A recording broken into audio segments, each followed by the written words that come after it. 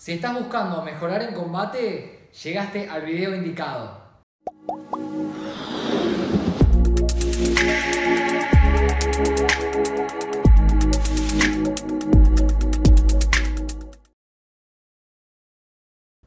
Hoy quiero darles 10 consejos para todo lo que es la lucha.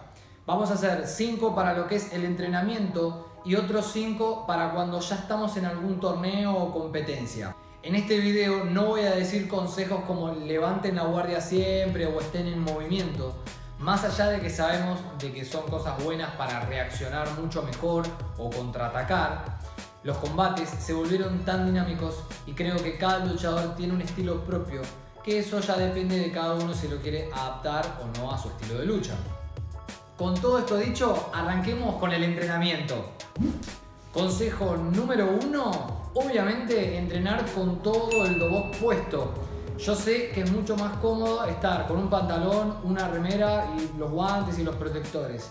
Pero tenemos que tratar de simular lo más real posible un combate de algún torneo. Y a esto me refiero con que tenemos que estar como si estuviéramos listos para pelear y entrar a competir. Ese pequeño cambio de simplemente tener toda la ropa bien puesta y los protectores e inclusive el bucal nos ayuda y modifica variables como por ejemplo la temperatura corporal o el volumen de oxígeno que entra a nuestro cuerpo. Así que, de vuelta digo, sé que es más cómodo, pero hay que tratar de simular lo más que se pueda un combate real. El consejo número 2 es entrenar diferentes situaciones en cuanto a la distancia. Por ejemplo, cómo atacar a un rival con unos cuantos tatamis de por medio, o mismo cuando por ejemplo estamos pegados a nuestro rival. Los combates son tan dinámicos que en cuestión de segundos podemos pasar de estar en el centro del tatami a estar arrinconados en una de las esquinas. Por lo tanto, está bueno tener práctica de estas situaciones.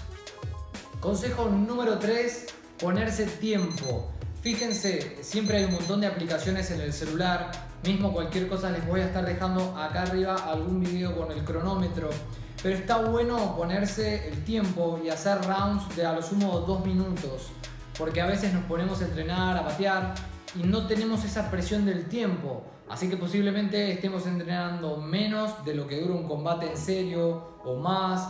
Pero está bueno tener esa referencia del tiempo. Avanzamos con el consejo número 4 y básicamente es que identifiquen cuáles son sus mejores técnicas y traten de ir armando combinaciones a partir de ellas. Voy a poner un ejemplo.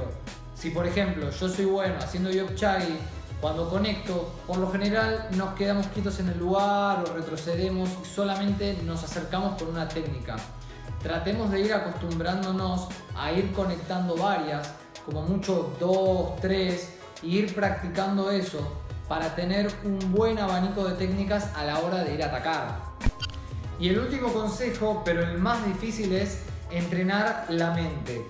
Hace mucho tiempo mi sabonín me había dicho que la primer pelea que tenemos que ganar está en nuestra cabeza.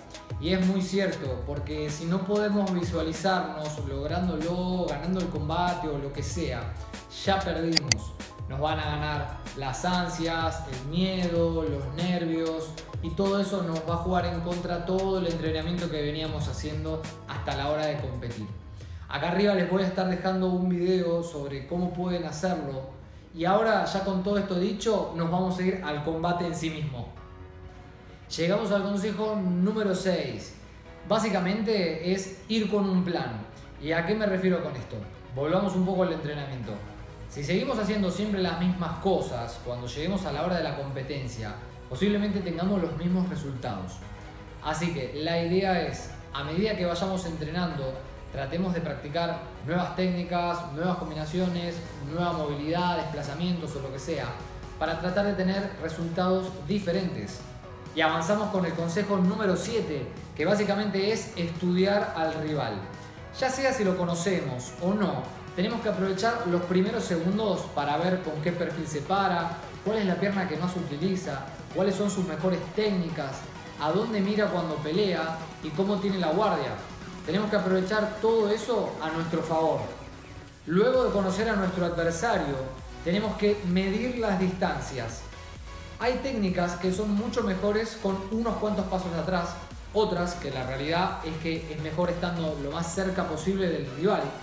Así que hay que ir jugando un poco con todo esto y hay que saber cómo manejar ambas distancias, estando lejos y estando cerca del mismo. Estamos por llegar al final y quizás suene medio tonto el consejo 9, pero es engañar y romper la línea. Aprovechemos para pivotear y no tener combates tan lineales de avanzar y retroceder. Tratemos de girar, saltar, amagar, hacer alguna que otra finta para provocar alguna reacción en nuestro adversario y ver cómo podemos aprovecharla para nuestro favor. En base a todo esto, tenemos que ser lo más rápidos para reaccionar y ahí sí poder conectar una buena combinación de patadas. Y llegamos al último consejo de todos. Hace un rato estuvimos hablando de estudiar a nuestros rivales. Bueno, si lo aplicamos a competencias un poco más avanzadas y más importantes, lo que tenemos que tratar de hacer ahora es investigar quiénes pueden ser nuestros rivales. Y en esta época en donde Instagram, YouTube, Facebook o cualquier red social que sea, hay tanta información sobre cómo pelean, cómo se desplazan, las técnicas que usan y demás tenemos que tratar de ser inteligentes y saber con qué nos vamos a enfrentar. Así que aprovechemos toda esa información para, como bien les dije hace un rato, poder trazar un plan y que tengamos un mejor desenlace en todo lo que es el torneo y en el resultado final. En el caso de que no tengamos información de redes, podemos aprovechar y consultar a algunos amigos, compañeros, sabón, sabonines, instructores que siempre hay alguien que te puede dar algún consejo sobre cómo enfrentarte a tal adversario. Espero que todos estos consejos te puedan ayudar a tener un mejor resultado en los torneos, competencias o en todo lo que sea que te propongas. Si te gustó el video, deja un buen me gusta y déjame en la caja de comentarios si por ahí hay algún consejo o tip que me haya olvidado decir y que a vos te sirva mucho y que nos puedas compartir.